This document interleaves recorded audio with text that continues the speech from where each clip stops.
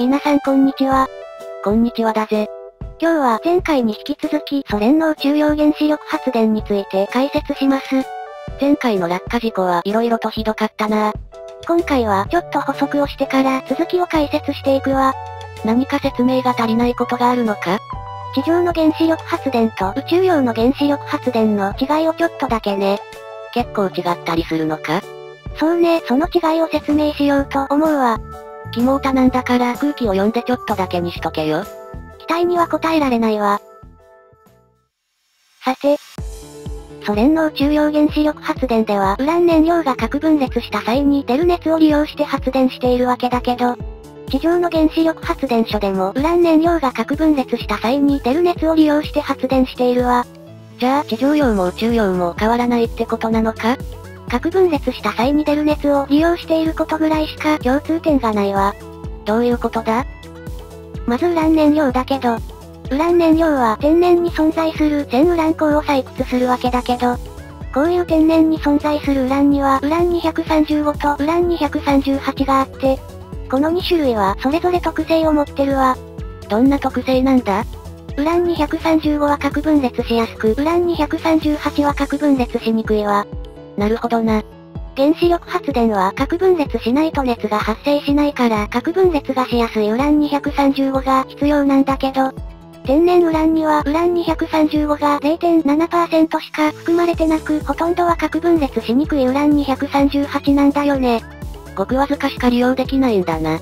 このままでは効率が悪くて使えないから、核分裂しやすいウラン235を遠心分離法などで濃縮していって、原子力発電所の燃料として使うわ。どのくらいの割合にしていくんだ？地上の原子力発電所向けだったら2%から5%くらいみたいね。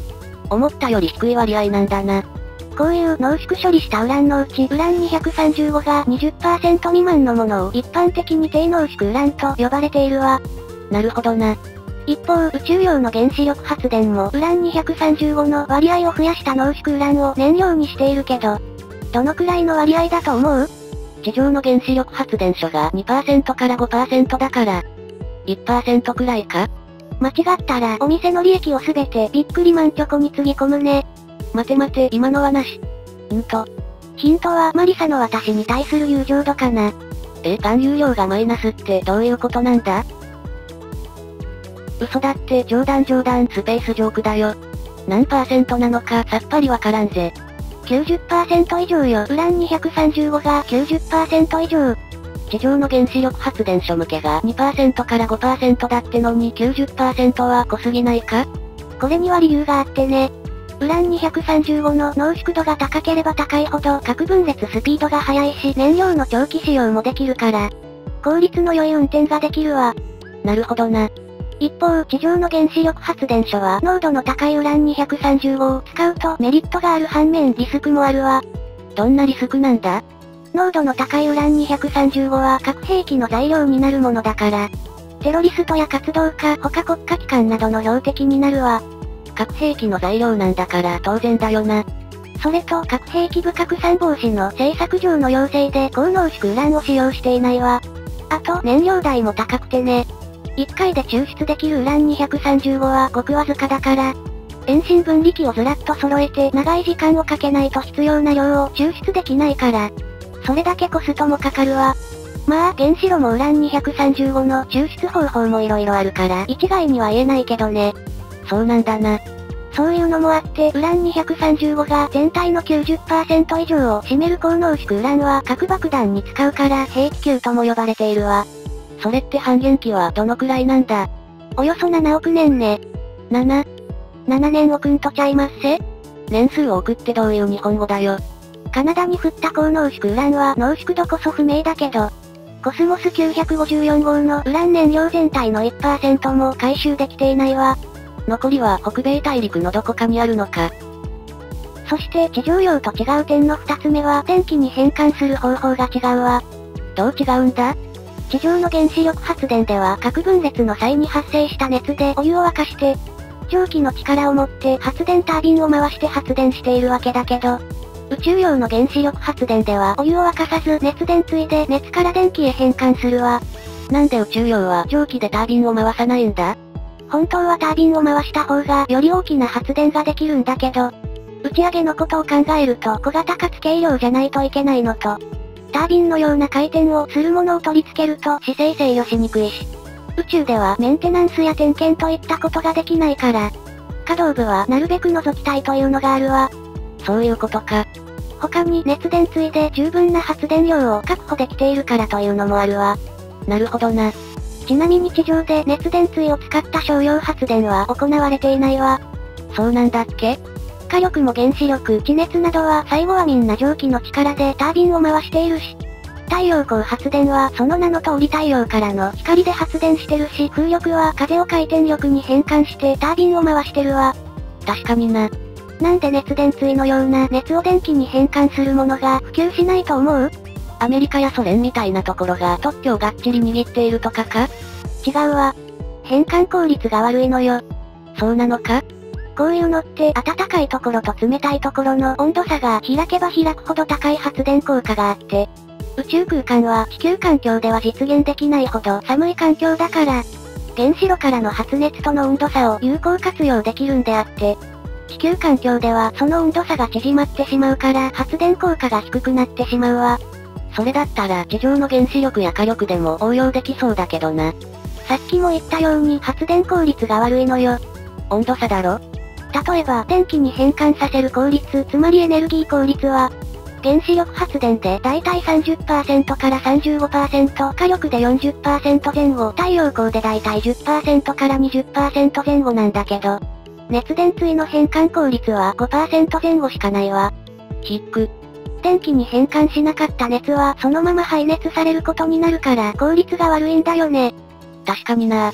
この分野ではアメリカとソ連が先行しているけど、日本でも名古屋大学や早稲田大学などの各大学や産業技術総合研究所、民間企業なども研究してて、効率のいい熱電対の素材研究だったり、熱抵抗率を下げる工夫、温度差の少ない環境下でも発電ができたりと、色々研究しているわ。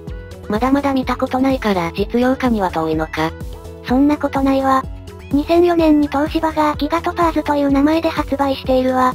へえ、発売してるんだな。まだ解説してないけど、ソ連は BES5 原子炉の他に、さらに高出力な 10kW 級のトパーズという中央原子炉の開発をしていたわ。だから西側の民間企業の東芝がソ連時代の名前を使うんだなぁと思ったし、工作機械をソ連に不正輸出しちゃって大変なことになったこともあるから、東芝の中にはソ連好きな人がいて東芝の文字が赤いのもその関係かなと妄想したりね。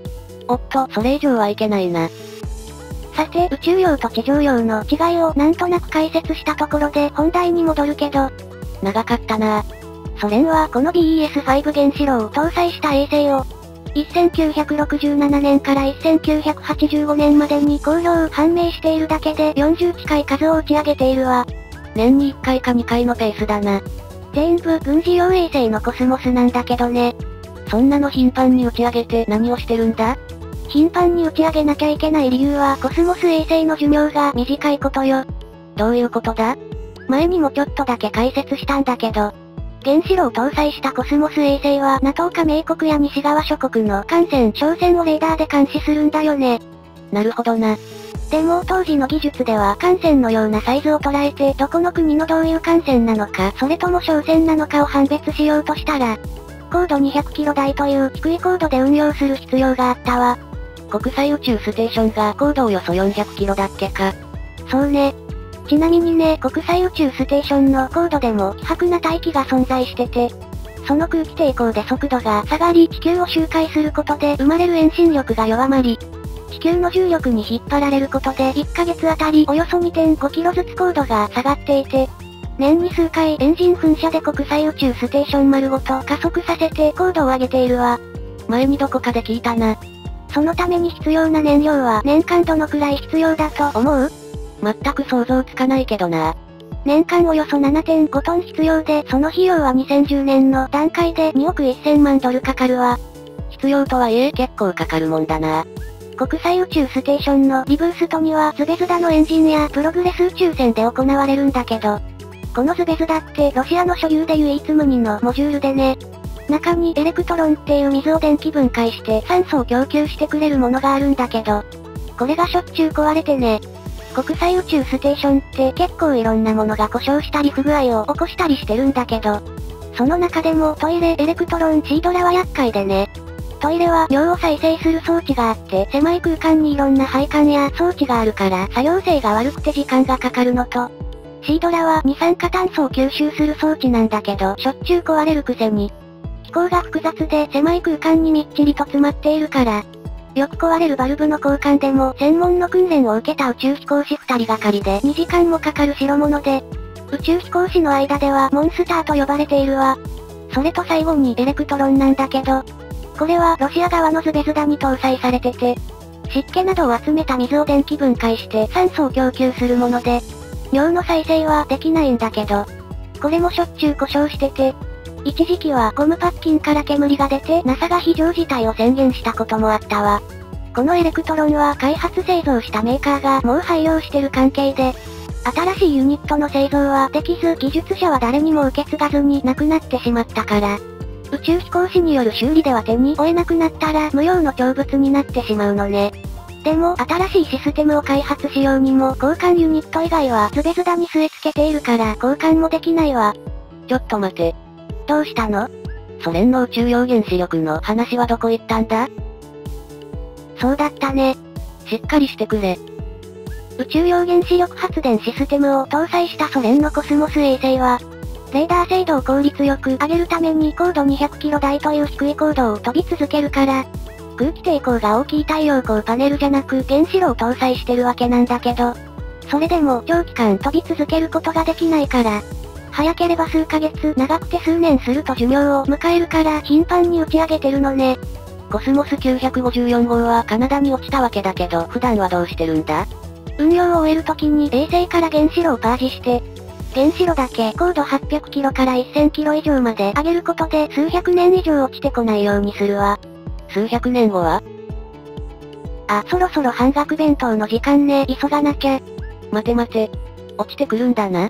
半減期が7億年もある高濃縮ウランを積んだ原子炉が落ちてくるんだな。よく考えてマリサ。なんだよ。原子炉だけの状態になってるのよ。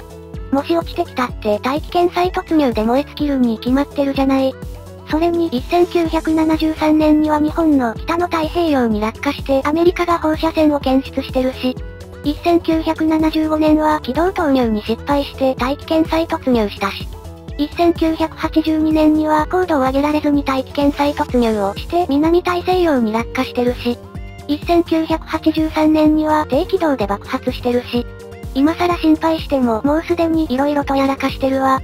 これはひどい。ソ連時代だからもしかしたら他にもやっちゃってるかもしれないけどね。問題はそこなんだよな。